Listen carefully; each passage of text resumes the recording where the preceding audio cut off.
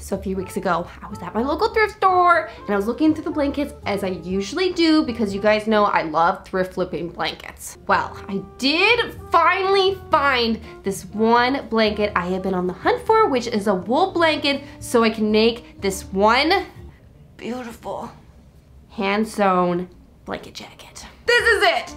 This is the blanket I thrifted and this is the blanket jacket we are gonna be making today. So the pattern I'm using for this jacket is from An Erin, and she's the one who created this idea of taking one of these wool blankets and then just hand sewing it into a jacket rather than like machine sewing it. I don't know. She uses like thick thread and it's like a nice contrast. So first step, I need to cut out all these pieces. I really don't want to wake you up, but I gotta, I gotta get going. I gotta get to work. You are so tired.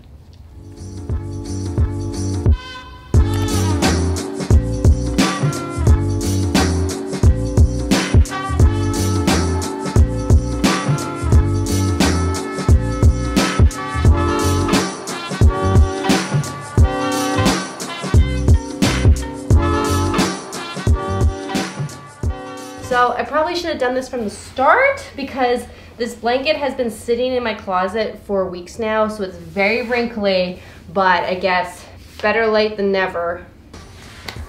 Yeah, that's better.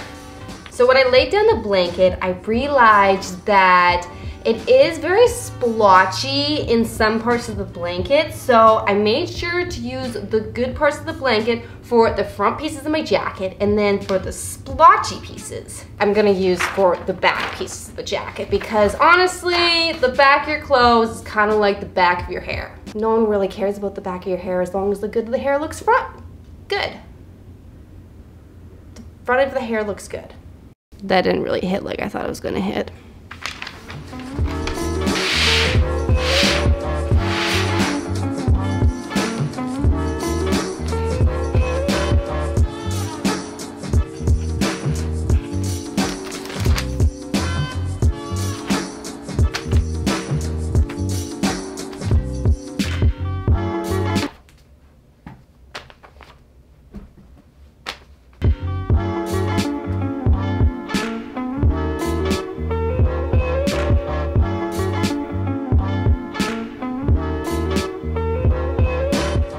Really know which one of these colors would be the best for the contrasting thread.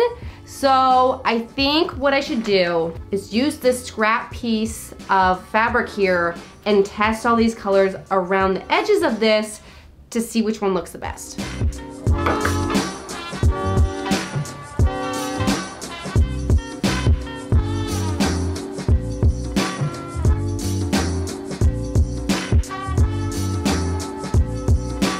So by doing this, I am now very confused on what color I should choose because now I like four of them. I really like this blue color, I like this peach color, I like this color.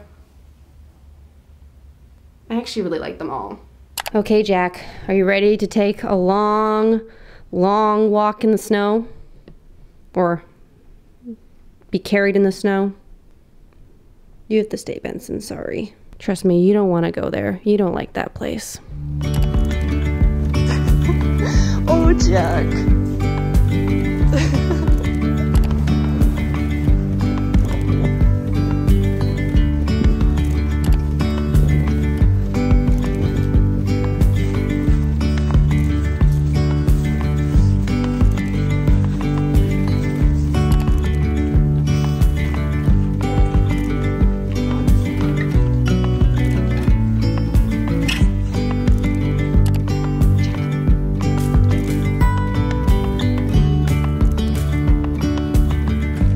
we're just walking back from Jack's appointment and we pretty much just figured out that Jack has really good bladder control and he doesn't like the snow. So that's why he's only peeing once a day because it's too cold for him, which I get it. It's probably like 30 degrees where he came from and now it's like negative 10. Okay, but he didn't really have to scare me because I literally thought that, I don't know, he was gonna die or something don't like the cold? Is that what it is? That's why you don't like to pee outside? Or pee at all? You don't like the cold.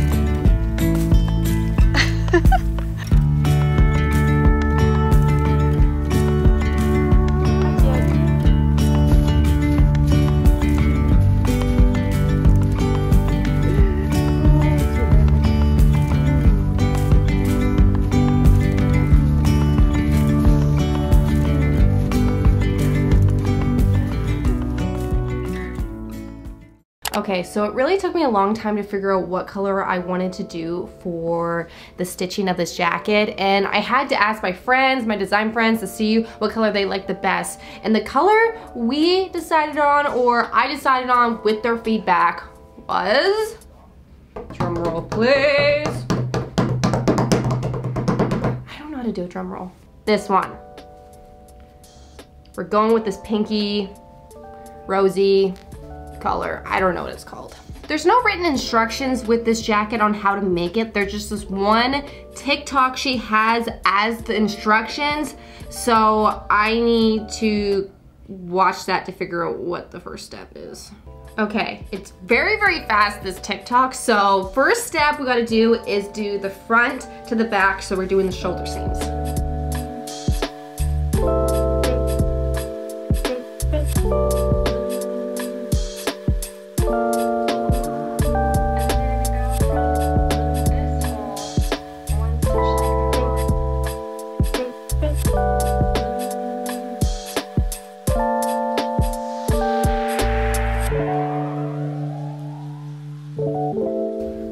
Did it.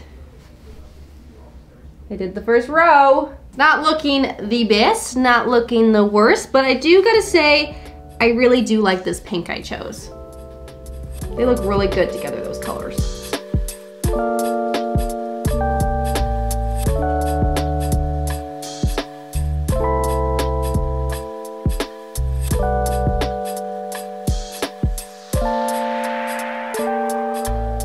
Seams are done, so now, next step, the side seams.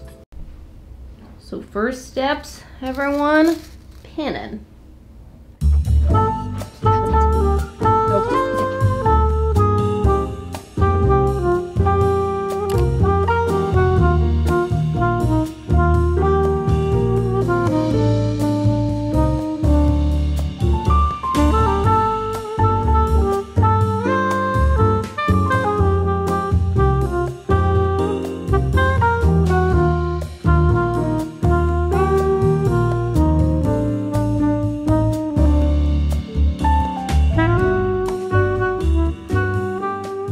So I have it into a vest now and I have not tried it on yet. Usually when I finish something, I try it on and then I show you guys because I'm just like too excited, but I have not tried it on. So let's see the fit.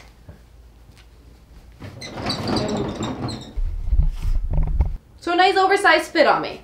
I like it. Like it so far. Two hairy thumbs up. Look who just knocked on my door. It's Jack. Now for the fun part of the jacket, or at least what I think is the fun part of the jacket, and it is the pockets. I made sure to cut the pockets green, solid green without the yellow pattern, just because I thought that would be like a nice contrast. Now seeing it on the jacket, can I help you? I really do. Okay, Jack, you can't be distracting. Like it. You can watch, but no touch. No, no, no, no, no, no. These are sharp. I don't want to poke you.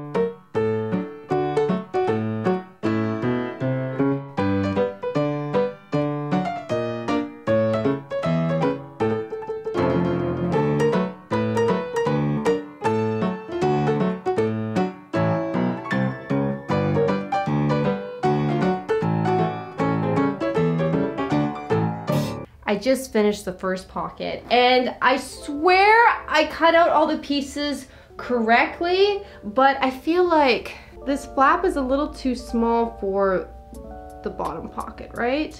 Like this kind of shows on the side here. Like I feel like this should be bigger than the bottom one.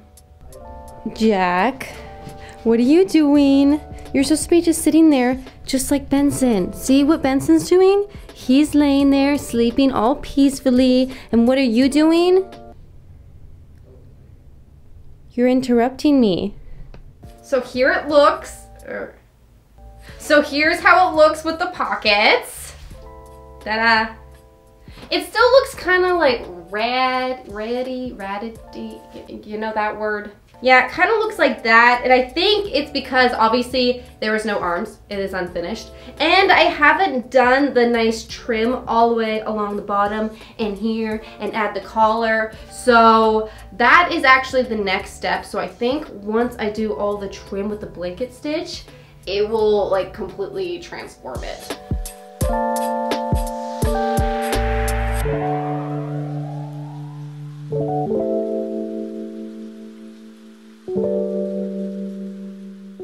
Also, if you're wondering why our couches are all covered in blankets, it's because we were um, worried that Jack was gonna pee on our couch when we left him alone, and um, he just prefers not to pee at all, actually.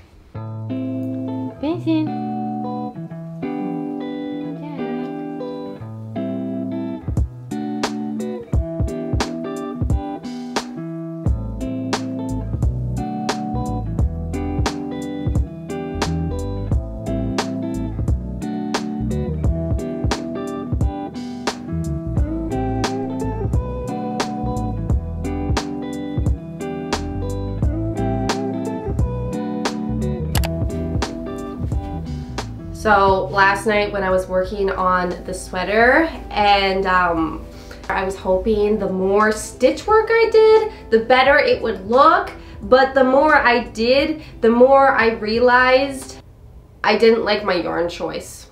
I'm just getting uh, like care home vibes with this. And you guys know I love a grandma look, you know, Grandma Jenna here. But I feel like it's grandma and not grandma Jenna. And I feel like a thicker yarn and a pop of color will change it to grandma Jenna. So I took off the flaps of the pockets. What am I on? This is what I'm talking about. So next for me, I now need to completely cut out all this yarn now. And hopefully, now that I kind of know what I'm doing, I have lots of practice with this jacket, it won't take me a whole day to get back to where I am at this very moment, maybe half a day.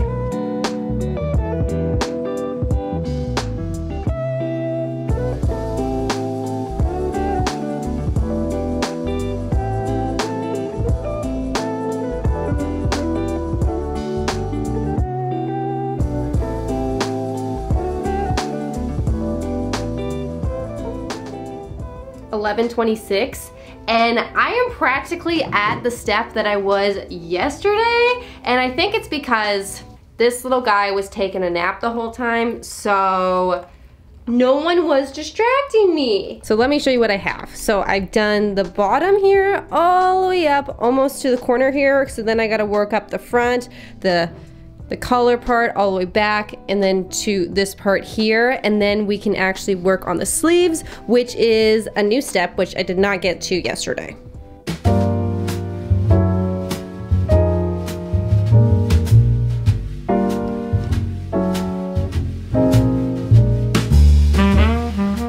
For the sleeve. I have these two pieces, so it's actually not just one piece for the sleeve. We gotta do a bottom and an upper. So, okay, so I'm just gonna pin them now so there's no chance for error.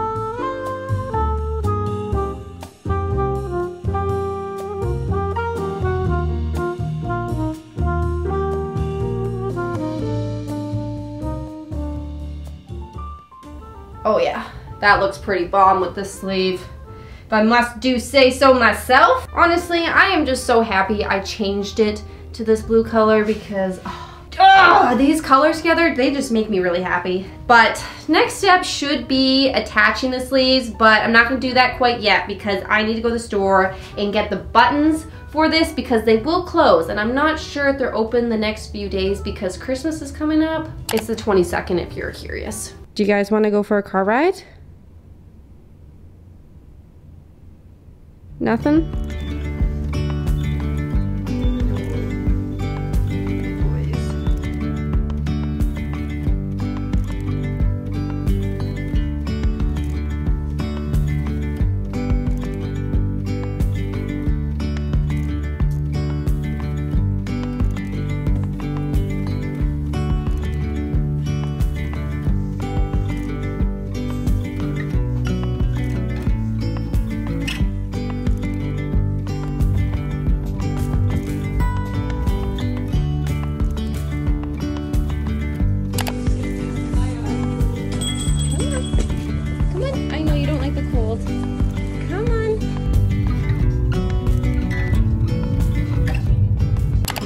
Step, we need to do a blanket stitch on the cuffs.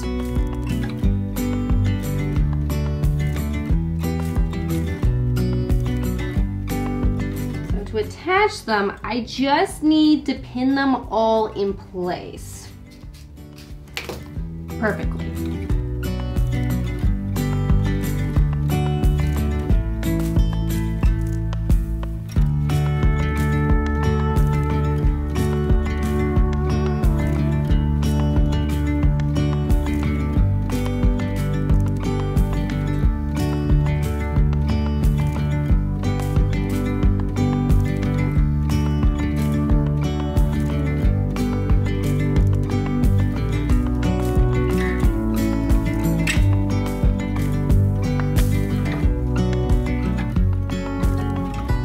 There's two things left. There is the collar that needs to be attached and then also the buttons. So I think I'm gonna attach the collar and then sew the buttons.